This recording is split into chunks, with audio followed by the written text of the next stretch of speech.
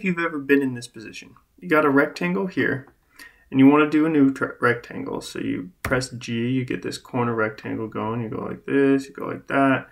And now you want this rectangle here, and we'll make it a little smaller, on this edge here. So you're like, okay, well, if I find the midpoint of this line and the midpoint of this line, and I make them vertical, that'll get it centered on this on this edge. And you're like, great, okay, now I just need to find the midpoint. And you can't find the midpoint. I've run into this problem so many times, and it used to make me so frustrated until I learned this trick. Now just press Shift S It'll go up here. It'll that's just a keyboard shortcut for making a point. Boom. The midpoint pops right the frick up. It's so nice. Anyway, and then you can just find the midpoint here. You can escape from that command. You can select this, select this, press V, make them vertical. Then you just do some quick dimensioning. All you have to dimension now is the top and the side here.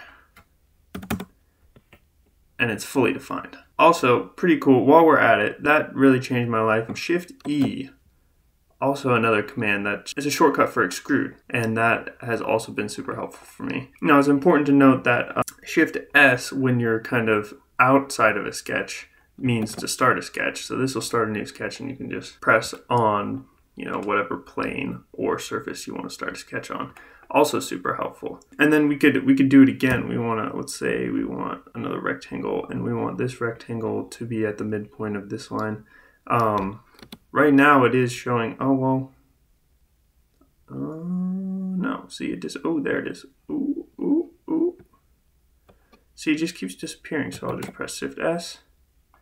Click there. Boom, there. We'll get a little vertical action in here. Oh, oops. horizontal action in here. Boom. Dimension this guy out. Boom. Dimension this guy out. Boom.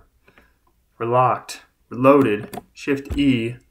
We got that. We do it. Uh, let's see. Second end position. We'll do. And we can just, I don't know, make a little funky part right there. Anyway, I hope you found this helpful. This was just going to be a little video on how to find a midpoint if you're searching around for the midpoint and you can't find it. I hope this helps someone out and good luck designing out there.